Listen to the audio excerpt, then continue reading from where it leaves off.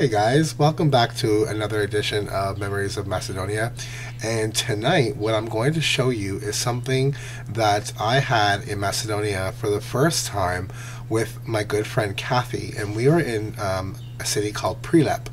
And Prelep is um, famous and known for its two craggy mountains. Think Twin Peaks. Um, there's a, a, fortress on top, and there's a monastery, and it's really medieval, the whole thing. There is also a, a, a large statue of Alexander the Great. And, but they're also famous for a restaurant called the Macedonian House. And um, it's a traditional looking house from inside to out. And what makes this restaurant really special is all the recipes are like what your mama made, what your grandma made, what Baba or Micah made. And trust me, the first time I went to this restaurant, I really made a pig of myself because I couldn't decide what to order. The table was ridiculous. So the last time I was there, this past summer, I was with my friend Kathy, and we had our traditional, you know, starters and salads and whatnot. And then what I ordered was something called Pileshko Tavche, which really translates into chicken in a clay pot. Now, a lot of national dishes in Macedonia are cooked in clay pots, and there's just something about the flavor. And I couldn't put my finger on it. What is it? Is it rustic? Is it the way it cooks? So I did some research. And what I found out on several websites is that when you cook in a clay pot, a lot of um, moisture or liquid does absorb um, out goes out rather. And your vegetables, especially, or your meats, um, retain their vitamins, retain their flavor, and almost concentrates. So you're not losing.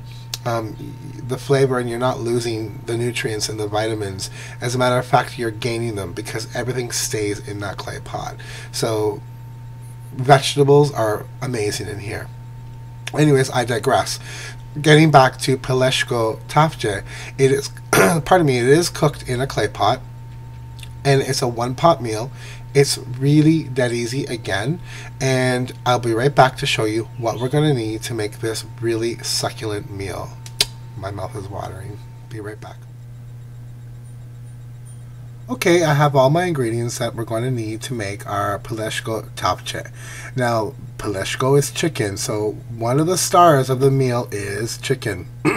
now, what I have here is I've taken the skin off of some uh, chicken thighs.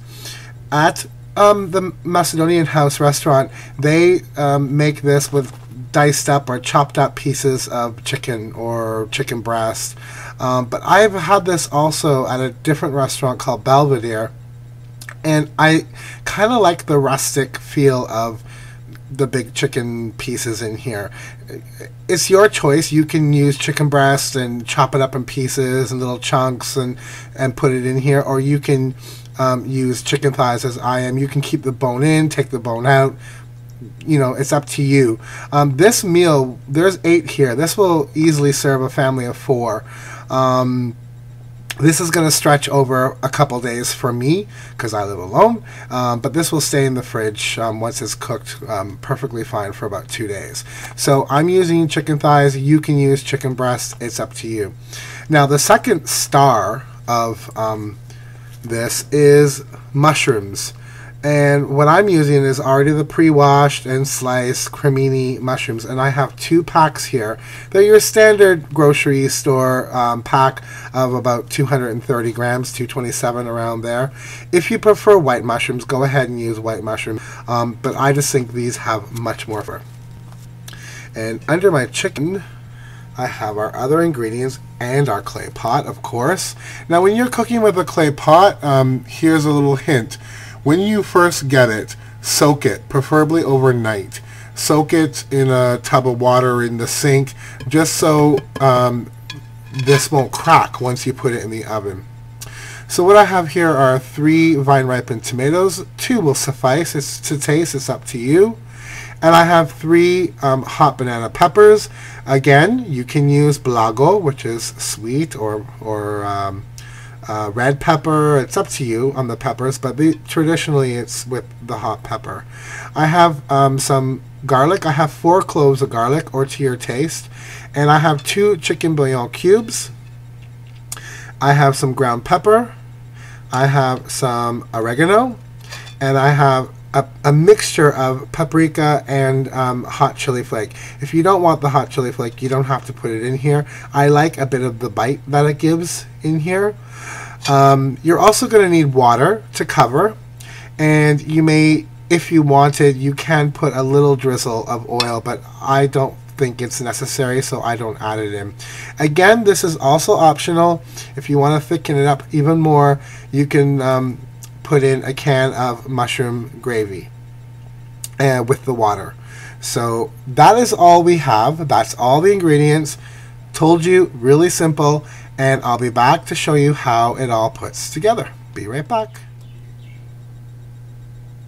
Hey gang, I'm back to show you everything in the clay pot. What I did do actually is I just split my thighs so I can just, um, how do you say, distribute them more evenly. Um, but that's the great thing about cooking. You're at the helm. You can decide what you want. Do you want chicken breast in here, whole cut, thighs? It's your choice.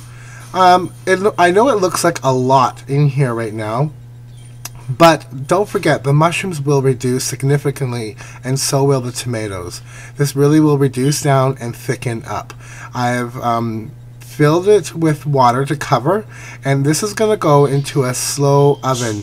Um, started off around 350 just to get it going, and then you can adjust the heat accordingly. You can turn it down or turn it up as you need it.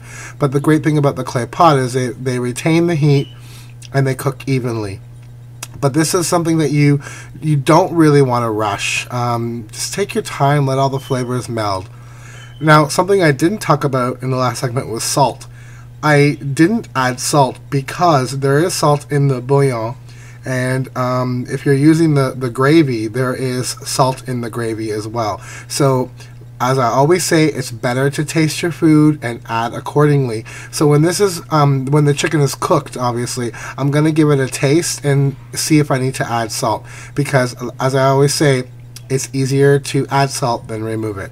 So this is gonna go in the oven. 350 to start and I'm going to slowly cook this let everything simmer down let everything melt together and it's going to be really good. It's so simple guys. You have to try this. Alright so we'll be back when it's done Hey all, I'm back for a quick moment. My Pileshko tavche is in the oven, starting to cook away.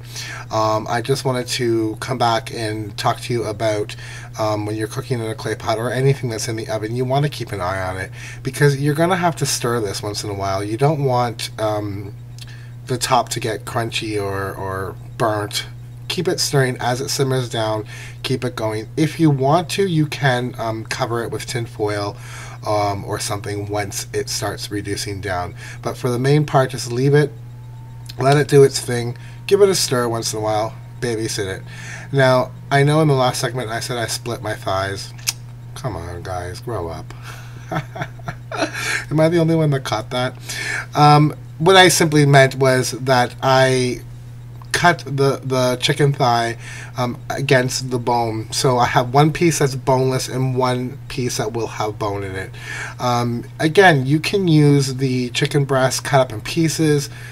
That's great, if, especially if you have small children. You don't want them dealing with bones and and uh, mess and things like that. Then go with the, the chicken breast cut into cubes or strips. It's it's your choice. So everything's in the oven. At the end of cooking, we're just going to put some fresh parsley on top. You can add some fresh Balkan style yogurt. Um, and your sides, of course, you can start off with a salad or a soup. It's up to you. Um, it's a really easy dish and it's really, really good. I hope you guys try it. Really, I really do. If you like the videos, please subscribe and hit like.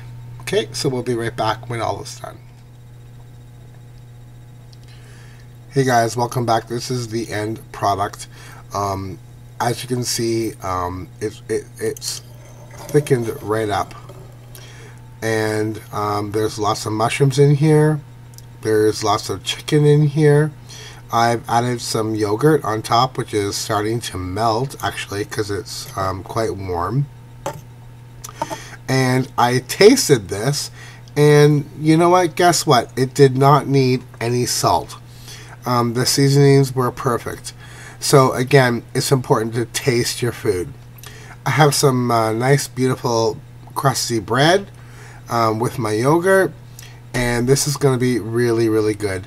Again, guys, um, it's versatile, so you know the, the, the kind of chicken that you use it's up to you um, the spice and how much you use it's up to you but this is really thick and it came out so nice if you find that your um, dish did not come out so thick you may want to add maybe a tablespoon of flour um, mixed with a little bit of the broth and then pour it back into the cooking pot um, to make sure that it thickens up. But it should thicken up. So, guys, really, I'm going to enjoy this. It's so hearty, it's so homey. The chicken is actually breaking up because it's like so tender. Oh, there's a nice big piece there. So, guys, enjoy. Thanks for watching. I hope you try this. Take care. See you soon. Ciao.